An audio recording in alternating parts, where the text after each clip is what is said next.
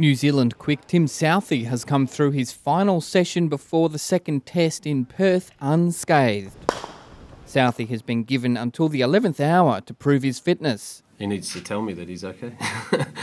Tim is a strong leader within the group. Um, trust him completely, and, and he'll uh, he'll make a, a, decision which he believes is the best for uh, for the teams. But after a solid net session and some treatment from the physio, all signs were positive that the spearhead would be fit to take his place.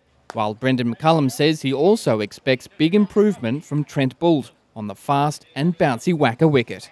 He's allowed to have the odd bad test match. Um, he wasn't at his best in, in uh, at the Gabba. Um, it could be any number of reasons why. He's obviously come back from an injury, but I'm pretty sure that we'll see a, a much improved effort from Bolty in this test match for sure.